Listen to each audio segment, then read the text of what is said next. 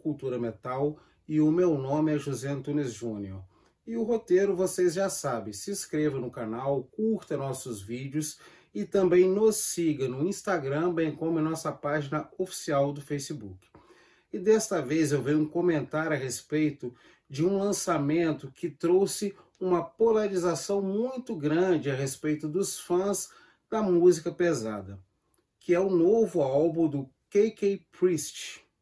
Porque muitos adoraram este álbum, inclusive colocaram ele na lista dos melhores de 2021 enquanto outros fizeram comparações muito pejorativas, falando que era um álbum sem graça, sem sal, genérico e cheio de clichês. Porém, eu vou falar agora minha humilde opinião a respeito deste lançamento. Eu curti muito este lançamento, pessoal. Então, primeiramente, vamos mostrar o álbum. Tá aqui, KK Priest, Sermons of the Sinner, que é este grande álbum aqui um lançamento da Wiki Metal em parceria com Encore Music. Antes de adentrarmos na sonoridade da banda, eu quero é, demonstrar a qualidade gráfica do material. Olha só, vem uma versão aqui slipcase belíssima, um material aqui muito bem feito. O CD também traz um encarte com a letra das músicas, o que para nós colecionadores tem uma relevância enorme. Então tá aqui, traz um encarte bacana com a letra das músicas. Então assim, para quem é fã de colecionismo, como eu e você que acompanha este canal, já chegou muito bem este lançamento porque traz uma qualidade gráfica excepcional. O que a gente deve ter em mente é o seguinte, muitos dos fãs de heavy metal é, ao ouvir o lançamento do KK Doni, né, do ex-guitarrista do Judas Priest, geralmente faz uma comparação entre o KK Priest com os álbuns clássicos do Judas Priest. E aí já começa, na minha humilde concepção, uma premissa errada. Uma coisa é o Judas Priest e o KK Doni no Judas Priest, que fez álbuns fabulosos, Break the Law, dentre outros, e outra coisa é a banda solo dele, chamada KK Priest. Não dá para comparar, cada uma tem uma sonoridade distinta. Então muita gente já reclamou porque esperava que viesse à tona um novo Breaking the Law, um novo Painkiller, quando na verdade não foi isso a intenção do KK Priest. Saindo dessa primeira premissa, o que eu quero falar com vocês é o seguinte: vamos iniciar com a produção e a gravação deste trabalho. A produção e a gravação ficou ao encargo do próprio KK Downey, bem como do Newton, Tony Newton, que é o baixista aqui do KK Priest. Vou mostrar aqui a foto dos caras, porque este vídeo não terá edição. Então tá aqui, ó, o Tony Newton, esse aqui de baixo, e o KK Priest, KK Donnie, na verdade, vocês já conhecem. Então, eles foram os responsáveis pela produção e pela gravação do álbum. E nesse quesito, eu notei que eles se preocuparam em trazer uma sonoridade mais moderna e uma timbragem mais moderna com relação aos instrumentos. Outra coisa que para mim é fundamental em qualquer gravação é a oitiva do som dos instrumentos, ou seja, o baixo tem que estar bem audível, a bateria, a guitarra, o vocal. E neste quesito, temos que bater uma salva de palmas para o KK Downey, bem como Tony Newton, porque todos os instrumentos estão muito bem equalizados.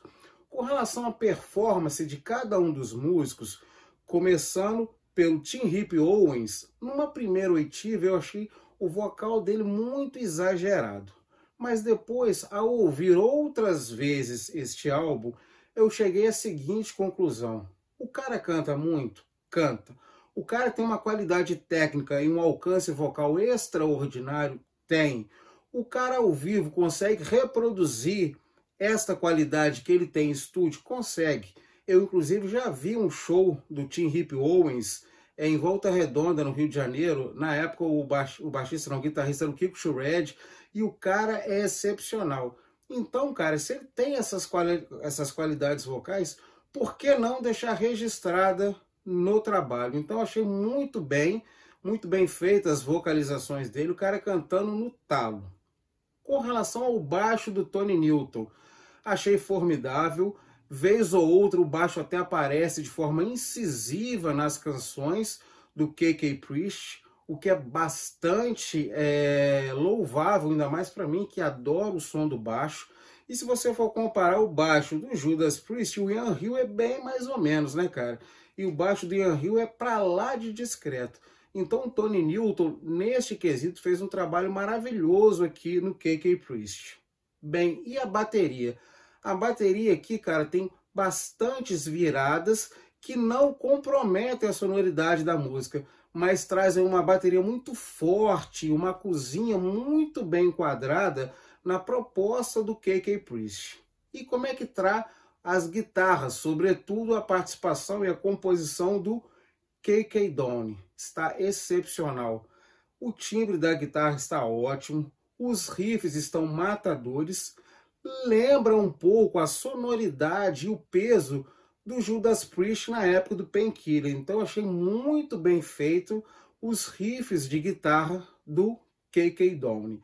Além disso tudo, as músicas trazem em si alguns coros que trazem um ar meio profano às músicas. Tem alguns coros que lembram o canto gregoriano, ou aquela música mais ligada a Carmina Burana, bem climática, o que ficou formidável, aliado ao peso que a banda colocou nas músicas. Quais seriam os destaques do álbum, na minha humilde concepção? Bom, eu adorei, cara, a, a música que foi o primeiro clipe da banda, que é essa aqui, Hellfire Thunderbolt. Gostei muito de Sacerdote em Diablo e gostei também dessa Brothers of the Road, que inclusive tem uma pegadinha hard muito interessante. Então, na minha humilde concepção, o que o fã de heavy metal quer ouvir seria um álbum pesado, com uma bateria forte e vibrante, que é o caso aqui, riffs matadores e bem altos, que é o caso aqui, um vocal com alcance extraordinário, que é o caso aqui, enfim, tudo isso aliado a muito peso. E isso tudo, minha gente, a gente tem nesse CD aqui. Então não vejo o porquê as piadas, ah, não é KK Priest, é KKK Priest, ah, um álbum genérico. Me perdoem, mas humildemente eu achei um álbum formidável e fantástico. Não entrou na minha lista dos 10 melhores, porque eu já tinha escolhido os 10 melhores. Se fosse os 15 melhores, certamente este álbum entraria. E o meu desejo é que o KK Priest, a banda, faça mais trabalhos formidáveis como este aqui. Então, essa é a minha humilde opinião a respeito do primeiro trabalho do KK Doni, a sua banda KK Priest, com este grande álbum aqui. E o bordão, meus amigos, vocês já sabem, este é um canal de metal para fãs de metal. Um abraço.